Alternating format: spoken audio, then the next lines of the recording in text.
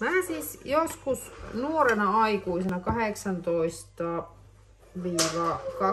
V, niin olin viikonloppuja ja iltoja töissä paikallisessa kaljakuppilassa ja siellä tehtiin tämmösiä snack-eväitä.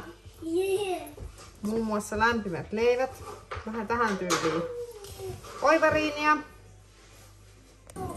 Tehdään myös jauhelihapihvejä. Paistetaan sipulirenkaita. Paistetaan myös munia. Oivariinia pannulle.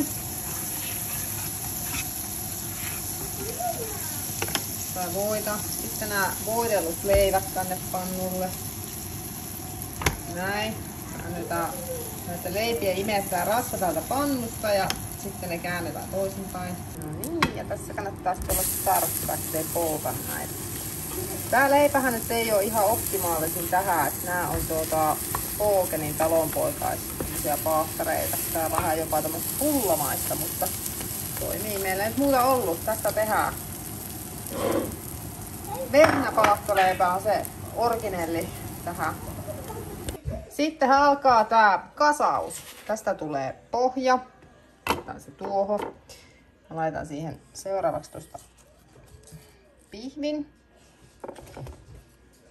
Sitten mä laitan siihen tota, tota, sipulia.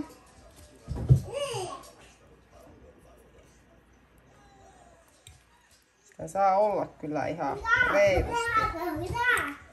Tää sipula. Mä en vaan paistanut tätä ihan sillä niin paljon kuin olisi voinut. Sitten mä laitan siihen tää muna. Sitten juustoa. En muista mitä oli käytössä silloin aikanaan, mutta ei se ainakaan Oltermannia ollut. Tää on Oltermannia, ettei tää nyt ainakaan huonompaa ole. Ja tähän sitten sai vielä äh, suolakurkkua. Meillä ei nyt suolakurkkua oo. Tässä se sitten oli. Ja tänne sai sitten myöskin mausteita. Mun muistaakseni harva kuitenkaan halusi tähän mitään mausteita. Ja se on valmis.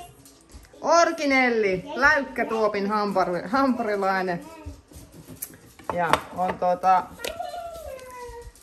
myöskin Orginellilta kokilta tämä ohje.